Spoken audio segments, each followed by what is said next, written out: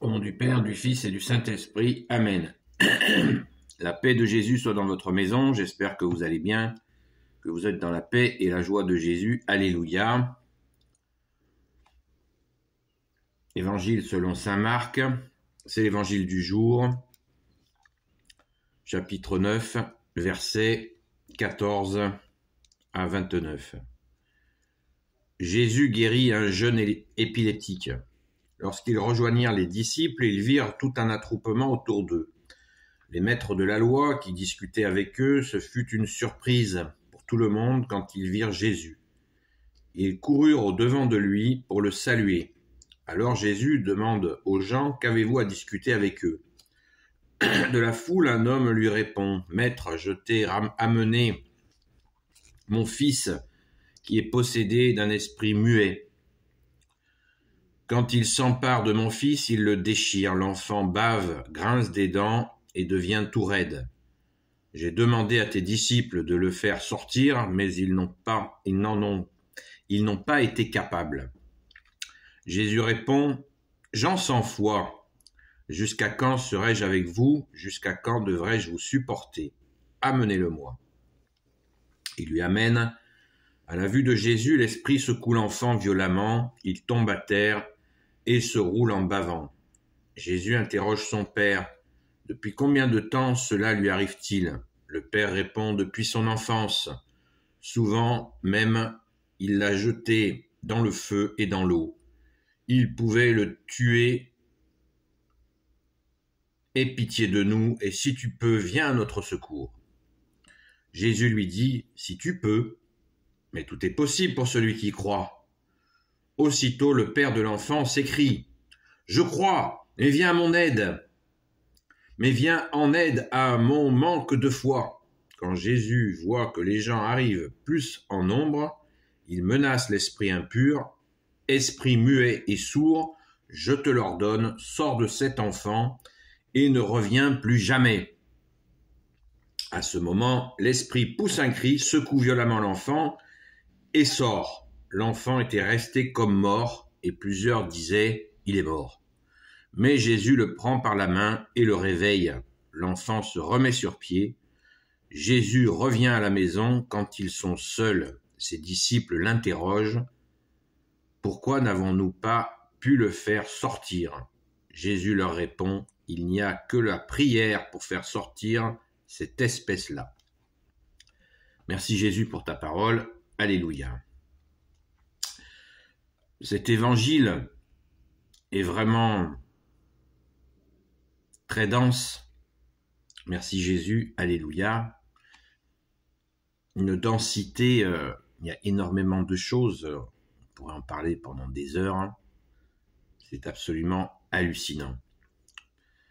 Mais la, chose qui retient notre attention immédiatement, c'est le, fait que les apôtres n'aient pas réussi à expulser ce démon. Alors ils se font un peu engueuler par Jésus, on l'a vu. Et ce que moi, ce qui me frappe, c'est ce, pauvre papa. Vous vous rendez compte, ce, jeune, il a ça depuis l'enfance, il avait ça depuis l'enfance, et qui dit euh, si tu peux. Au verset 23, Jésus reprend son mot. Donc le Père, le verset 22, au verset 22, il lui dit Aie pitié de nous, et si tu peux, viens à notre secours. Donc Jésus ne laisse pas passer ça. C'est un, c'est très intéressant parce que de ne pas il ne laisse pas passer le doute. Il s'en fiche, il pourrait s'en, Jésus bien aimé, tu pourrais dire, ben, c'est pas grave, de toute façon, ça va se faire. Ben non. Toujours cette pédagogie de Jésus. Merci bien aimé Jésus.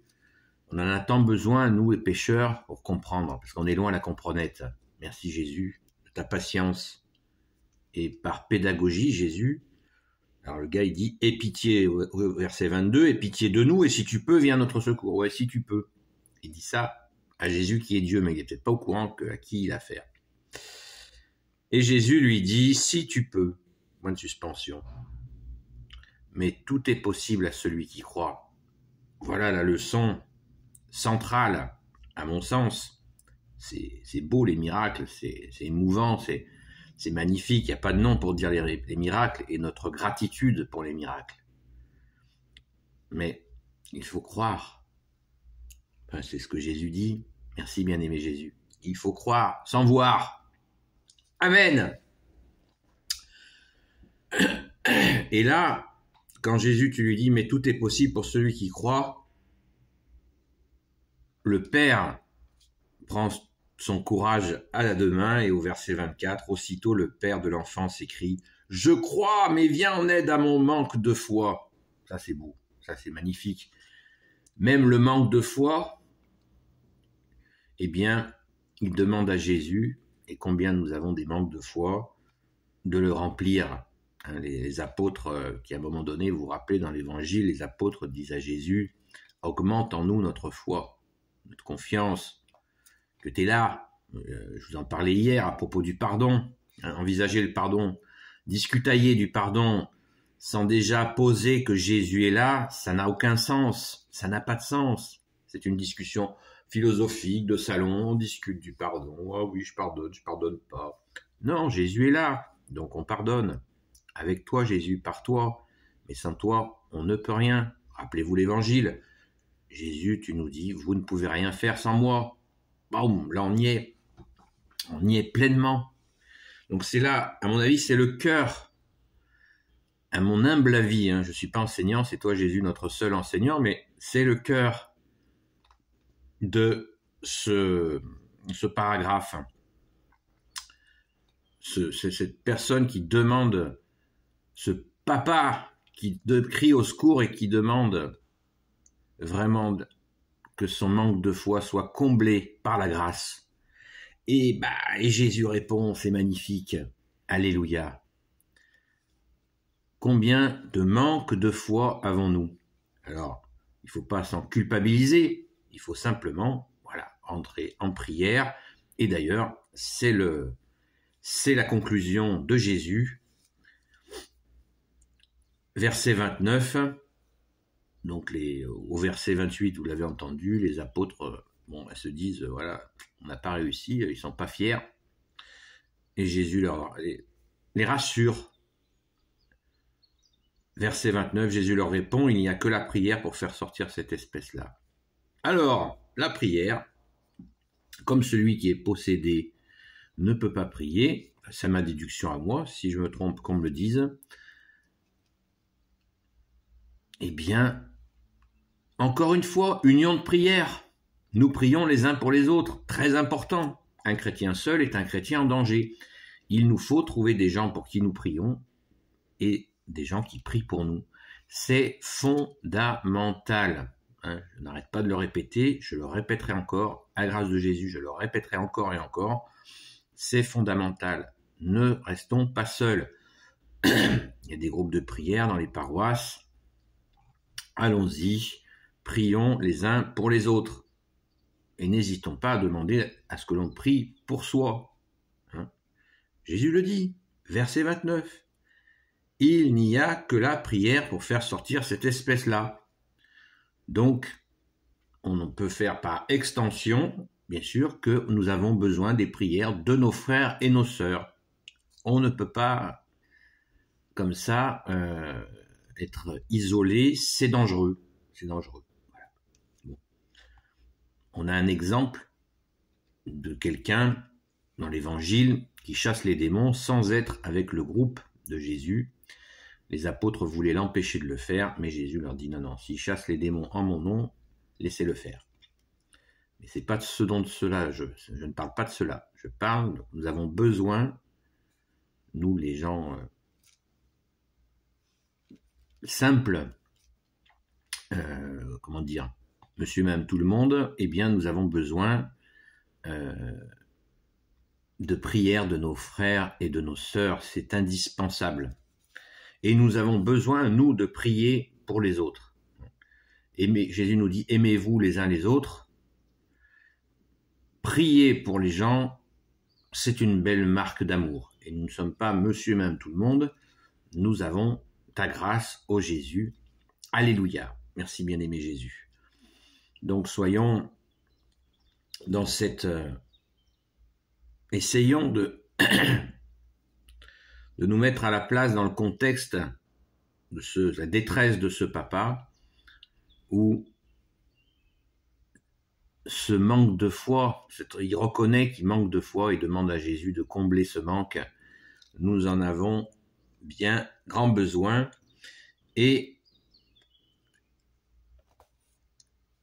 on revient quelques instants sur l'esprit muet. Je t'ai amené mon fils, verset 17, qui est possédé d'un esprit muet. Un esprit muet. Quel est donc cet esprit impur qui faisait taire cet enfant? Voilà, se taire, alors que Jésus nous demande de nous de parler, de libérer notre langue, pas pour dire n'importe quoi. Il nous demande de mettre notre lumière, qu'elle soit visible des hommes. Donc, ne, ne, nous taisons pas. Témoignons de Jésus, pas à tort et à travers. Il y a une belle prière à l'Esprit Saint qui dit Esprit Saint, dis-moi ce que je dois dire, souffle-moi ce que je dois taire. Très très important, mais il nous faut parler. Hein, le mutisme, ça commence par justement de se, comme on dit populairement, de se fliquer, mais quand on le fait régulièrement et de trop, au bout d'un moment, ça coince. Donc il faut faire attention. Surtout, témoignons joyeusement de notre foi. Alléluia, merci Jésus par le Père, le Fils et le Saint-Esprit. Amen. Ô Jésus, toi qui peux tout et qui porte tout, toi le Sauveur, toi l'Emmanuel, je te confie toutes celles et ceux qui regarderont cette vidéo, ainsi que leurs proches selon ta sainte volonté, ô Jésus. Sainte Marie, Reine des cieux, toi l'Immaculée Conception, toi qui écrases le serpent, toi qui as la lune sous tes pas, toi notre Mère, notre Dame. Saint Joseph, toi le juste et le saint, toi le sage, toi la terreur des démons, toi le saint gardien de la Sainte Église catholique apostolique, Sainte Marie-Madeleine, notre chère Sainte Patronne, notre chère Grande Sœur, et vous tous les saints et saintes amis de Jésus, Saint Michel Archange, qui est comme Dieu, Saint Gabriel Archange, Saint Raphaël Archange et tes anges guérisseurs, et vous tous les anges qui servez Jésus, je vous confie toutes celles et ceux qui regarderont cette vidéo, ainsi que leurs proches selon ta sainte volonté, au Jésus. N'oublions pas la prière à Saint Michel Archange à propos de démons. Hein. Quand on prie, les amis de Sainte Marie-Madeleine vous suggèrent de prier le chapelet en disant le Notre Père, la prière courte à Saint Michel Archange et ensuite les dix Je vous salue Marie. Voilà, nous, nous intégrons la prière à Saint Michel Archange dans le chapelet. C'est pas un ordre, c'est une proposition. Merci Jésus de nous l'avoir soufflé. Alléluia. Eh bien, la paix de Jésus soit dans votre maison, sa joie aussi, et à très vite.